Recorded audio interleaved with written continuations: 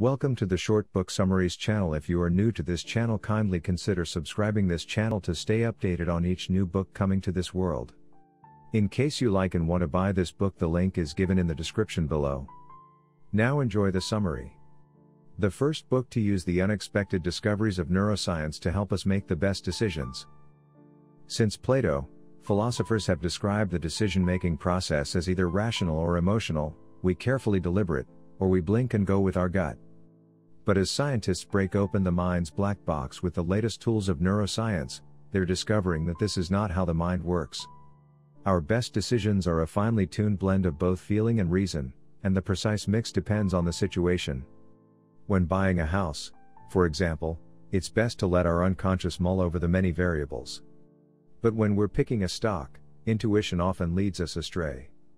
The trick is to determine when to use the different parts of the brain, and to do this, we need to think harder, and smarter, about how we think. Jonah Lehrer arms us with the tools we need, drawing on cutting edge research as well as the real world experiences of a wide range of deciders from airplane pilots and hedge fund investors to serial killers and poker players.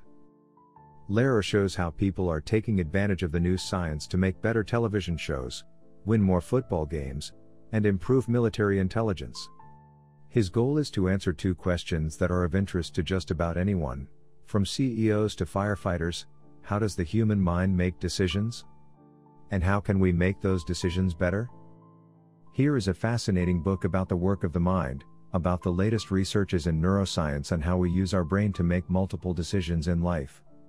If the brain is outdated, old fashioned machinery and we are stuck with it, then our emotions are the more sophisticated and advanced tools.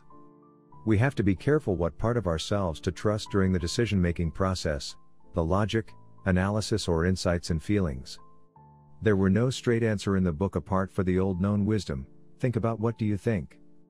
The Jonah Lehrer is an enormously talented author and his blog The Frontal Cortex worth looking into.